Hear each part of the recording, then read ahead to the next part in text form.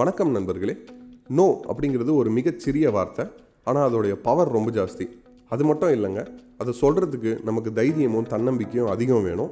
No சொல்லிட்டு அதுபடி நிற்கிறதும் கஷ்டம். ஆனால் அப்படி நின்று ஜெயிச்சவங்களுடைய கதைகளை பற்றி தான் இன்றைக்கி நாம் பார்க்க போகிறோம் உலகில் உள்ள சாதனையாளர்களுக்கும் மிகப்பெரிய சாதனையாளர்களுக்கும் என்ன வித்தியாசம் தெரியுமா? மிகப்பெரிய சாதனையாளர்கள் கிட்டத்தட்ட அனைத்துக்குமே முடியாதுன்னு தான் பதில் சொல்லுவாங்க. இதை நான் சொல்லலைங்க. உலகின் இரண்டாவது பணக்காரரான வாரன் பஃபெட் சொல்லியிருக்காரு.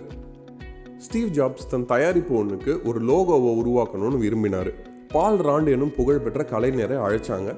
பிராண்டின் பெயர் நெக்ஸ்ட். இதை வச்சு ஒரு நாலஞ்சு லோகோ மாதிரிகளை செஞ்சு எடுத்துக்கிட்டு வாங்க. எனக்கு வேண்டியதை நான் தேர்வு செஞ்சுக்கிறேன்னு சொன்னார். அதுக்கு பால் ராண்ட் முடியாதுன்னு மறுத்தாரு. ஸ்டீவ் ஜாப்ஸ் ஆச்சரியமாக என்ன முடியாதா? அப்படின்னு கேட்டார். அதுக்கு பால் ராண்ட் ஆமாம் முடியாதுங்க. என்னால் ஒரு சமயத்தில் ஒரே ஒரு சிறந்த லோகோவை மட்டும்தான் உருவாக்க முடியும். நாலஞ்சுலலாம் என்னால் வேலை செய்ய முடியாது. அது ஒரு கவனச்சிதறல். என் மேலே நம்பிக்கை இருந்தால் கான்ட்ராக்டை கொடுங்க. என் படைப்பு திறன் அனைத்தையும் கொட்டி லோகோவை உருவாக்குறேன். அதன் விலை ஒரு லட்சம் டாலர். உங்களுக்கு அது பிடிக்கலன்னா நீங்கள் பயன்படுத்த வேண்டாம். அது உங்கள் விருப்பம். ஆனால் என்னால் ஒரே சமயத்தில் நாலஞ்சு லோகோலெல்லாம் வேலை செய்ய முடியாதுங்க. சொல்லி முடிச்சுட்டு வெளியேயும் போயிட்டாரு பால் ரேண்டு. ஸ்டீவ் ஜாப்ஸ் கிட்டக்க இப்படி கட் அண்ட் ரைட்டாக அவர் பேசினதை கண்டு கம்பெனி நிர்வாகிகள் கடும் கோபம் அடைஞ்சாங்க. லட்சம் டாலர் வேணுமா? இவர் உருவாக்குவாராம் நம்ம பிடிக்கலன்னா பயன்படுத்த வேணாமா? ஆனால் பணத்தை திருப்பி கொடுக்க மாட்டாராம் இது சரியான பித்தலாட்டம். கிடக்கிறாரு விடுங்க. இவர் போனால் ஆயிரம் பேர் வருவாங்கன்னு சொன்னாங்க. ஆனால் இந்த அளவுக்கு தன் தொழில் மேலே மரியாதை வச்சிருக்கிற ஒருத்தர்கிட்டக்க தான் இது சரியாக வரும் அப்படின்னு ஸ்டீவ் ஜாப் சொன்னார். பால் ரேண்டை அழைச்சி கான்ட்ராக்டையும் கொடுத்தாரு. அவர் உருவாக்கிய லோகோ மிகவும் சிறப்பாக அமைஞ்சுது. அனைவரின் பாராட்டையும் பெற்றது. ஆஸ்கார் விருதுகள் பெறுற படம் எதுன்னு எல்லாருக்கும் ஞாபகம் இருக்குங்க. ஆனால் எந்த படம் சிறந்த எடிட்டிங்க்கு விருது வாங்கிச்சுன்னு நிறைய பேருக்கு ஞாபகம் இருக்காது. ஆனால் விஷயம் தெரிஞ்சவங்களுக்கு ஒரு படம் எடிட்டிங்க்கு ஆஸ்கார் வாங்கினா அது சிறந்த படத்துக்கான விருதை வாங்குறதுக்கான சாத்தியக்கூறுகள் அதிகம்னு தெரியும். அதே போல் இது நாள் வரைக்கும் எடிட்டிங்க்கும் சிறந்த படத்துக்கும் ஆஸ்கார் வாங்கின படங்கள் அறுபத்தி ஆறு பர்சன்டேஜ் ஒத்து போயிருக்குங்க. ஸ்பீல்பர்க் நாற்பது ஆண்டுகளாக ஒரே எடிட்டரோட தான் வேலை செய்கிறாரு அவர் பெயர் மைக்கேல் கான். ஸ்பீல்பர்கின் படங்கள் ஆஸ்கார் விருது வாங்கும் ஆண்டுகளில் மைக்கேலும் ஆஸ்கார் விருது வாங்கியிருக்காரு. எடிட்டிங் செய்யும்போது ஸ்பீல்பர்க் உயிரை கொடுத்து எடுத்த காட்சியை ஈவி இறக்கமே இல்லாமல் வெட்டி தள்ளுவார் மைக்கேல்.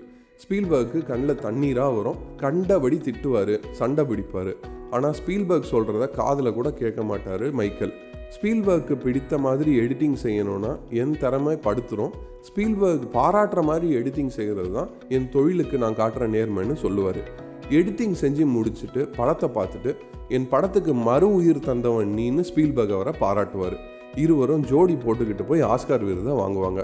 ஸ்பீல்பர்க் ஸ்டீவ் ஜாப்ஸ்னு வாழும்போதே வரலாறாக வாழ்ந்தவங்களுக்கே நோ சொல்லும் திமிரும். தொழில் பக்தியும் இருந்ததால தான் இந்த கலைஞர்கள் மிளிர்ந்தார்கள் அவர்களால் கலை உலகமும் மிளிர்ந்தது அது மட்டும் இல்லாமல் சோவியத் கவர்மெண்ட்டோடைய டைரக்ட் ஆர்டரையே மறுத்த ஒரு நபர் தான் உலகத்தையே நியூக்ளியர் வார்கிட்டேருந்து காப்பாற்றியிருக்காரு கோல்டு வார் ரொம்ப பிரசித்தம்ங்க. இரண்டாம் உலகப் போரில் ஜெர்மனியை எதிர்க்கிறதுக்காக கைகோர்த்த அமெரிக்காவும் ரஷ்யாவும் வேர்ல்டு வார் டூ முடிஞ்சதும் தங்களுக்குள்ளே யார் பெரிய ஆள்னு அடிச்சுக்க ஆரம்பிச்சாங்க. இதுக்காக அவங்க நேரடியாக போரில் இறங்கலைனாலும் அவங்களுக்குள்ள ஒரு பதட்டம் கிட்டத்தட்ட நாற்பது ஆண்டுகள் நிலவிக்கிட்டே இருந்ததுங்க. ஒருத்தர் மேலே ஒருத்தர் எந்த நேரம் வேணாலும் நியூக்ளியர் மிசைல்ஸை லான்ச் பண்ணிக்கலான்னு உலகமே பயந்தது. அப்படிப்பட்ட ஒரு சமயத்தில் ஆயிரத்தி தொள்ளாயிரத்தி எண்பத்தி மூணாம் ஆண்டு செப்டம்பர் இருபத்தி ஆறாம் தேதி ரஷ்யாவின் ஏர்லி வார்னிங் சிஸ்டம் அமெரிக்கா தன் மேலே ஐந்து நியூக்ளியர் மிசைல்ஸை லான்ச் பண்ணிடுச்சு அப்படின்னு சொல்லுச்சு. அந்த சமயத்தில் டியூட்டி ஆஃபீஸராக இருந்த ஸ்டானிஸ்லாவ் பெட்ரோவுங்கிறவர் இது நிச்சயம் ஒரு தவறான தகவலாக தான் இருக்கும் அப்படின்னு நம்பினார். அதுக்கு சில காரணங்கள் இருந்தது. இந்த ஏர்லி வார்னிங் சிஸ்டம் ரொம்ப புதுசு. அது தவறுகள் செய்யறதுக்கு வாய்ப்புகள் அதிகம் அப்படின்னு அவர் நம்பினார். அது மட்டும் இல்லாமல் அமெரிக்கா ரஷ்யா மேலே தாக்குதல் நடத்துதுன்னா ஒட்டுமொத்த மிசைலையும் ஒரே சமயத்தில் அனுப்புமே தவிர இப்படி அஞ்சே அஞ்சு மிசை கொசுரா அனுப்பாது அப்படின்னு அவர் நம்பினார்.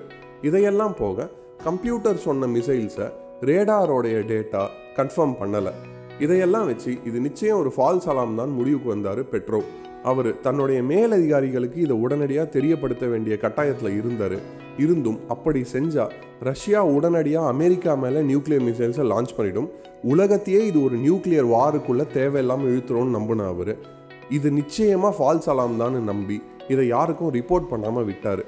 அவர் மேலே பயங்கர விசாரணை ரொம்ப கேள்வி கணைகள்லாம் தொடுக்கப்பட்டுச்சு.